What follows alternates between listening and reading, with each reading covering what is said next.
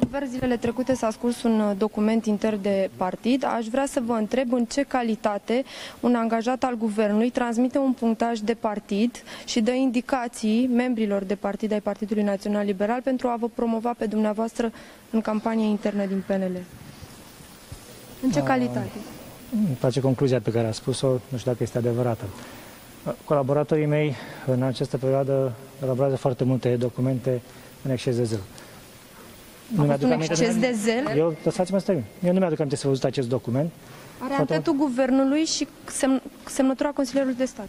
Um, Eu zic că cei care cred, spun că este un document real și am văzut că uh, am văzut în spațiu public discuții, să vină și cu probe. Până la urmă, asta- despre asta vorbim. Dumneavoastră ne Deci spuneți acest că nu este document un nu este document real, nu a real, fost primit este pe dat e-mail? de unul dintre susținătorii dumneavoastră, pentru că la el a ajuns și ulterior s-a scurs în presă de la cineva care vă susține pe dumneavoastră și care nu era de acord cu acel document. Eu vă spun ceea ce știu eu. Eu în acest moment vă spun că sunt mai multe documente care există cu propuneri. Eu nu mi-aduc aminte să văzut acest Dar vi document, se să pare văzut în vreodată. regulă ca un consilier de stat angajat din plan public să o facă campanie internă, să lucreze pentru dumneavoastră în, uh, în partid?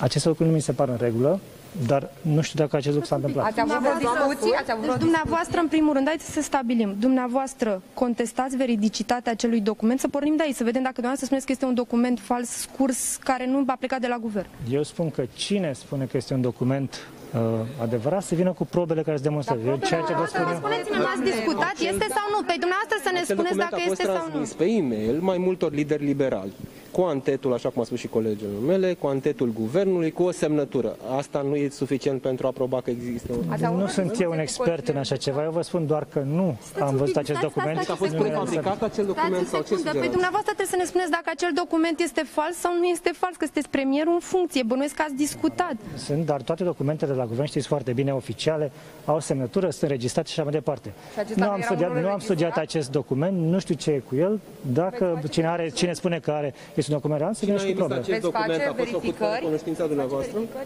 Dacă este nevoie, îmi faceți verificări. În acest moment vă spun că nu am știut de acest document, discuție. nu a fost în, uh, adus mie. O mai discuție multe, cu Consilierul de Stat ați avut? am discuții cu Consiliul de Stat mai multe Despre discuții. acest document, haideți, domnule, că ne învârtim în jurul serios. Despre acest document ați discutat? Punctual. Ce v-a Ce vi spus? s-a transmis? Eu vă spun că discut cu consilierii mei de stat foarte multe lucruri. În același timp, nu pot să discut, Despre acest document, nu pot să domnule. discut despre lucruri care apar în spațiu public și despre care nu știu că sunt adevărate. Dar Păi ați ați întrebat, campanie. ați întrebat dacă este sau nu este veridic acel document sau nu?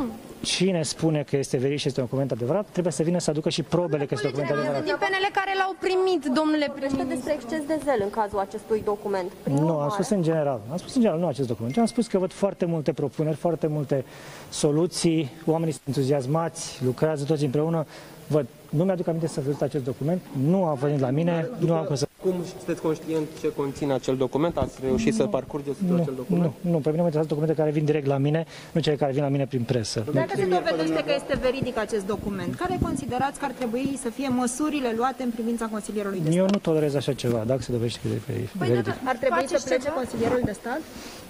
Vedem, Domnul uh, Orban a repet, cerut cine... astăzi demisia colaboratorului. Domnul Orban trebuie să vină cu dovezi că este adevărat. Nu știu dacă domnul Orban a lucrat cu domnul Eugen Todorovici. când a- document care poartă antetul Domnul Eugen Todorovici, guvernului. Domnului Orban, documentul nu știu exact cum s-a lucrat, dar trebuie cine a venit să, să cine a Este un demonstrat să document facă. care poartă antetul guvernului plecat de la Aminte că au mai fost câteva documente care spuneau că sunt înregistrate la guvern și nu am găsit nimic. Deci, repet, cine a spune că sunt documente reale, trebuie să demonstreze că sunt reale. Acest document aportă antetul guvernului, dar nu a fost folosit pentru acțiunea guvernului, a fost folosit pentru, o acțiune internă de partid.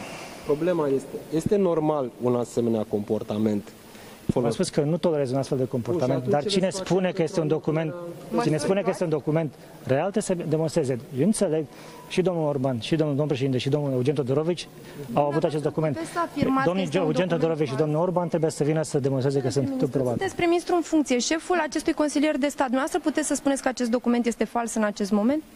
Eu nu am văzut acel document. Păi Mie este mi-a- în au presă, venit ce- este l-am public văzut în toată presa. În presă sunt foarte multe lucruri. A spus că nu tolerează un Deci nu aveți asemenea autoritatea comportament. asupra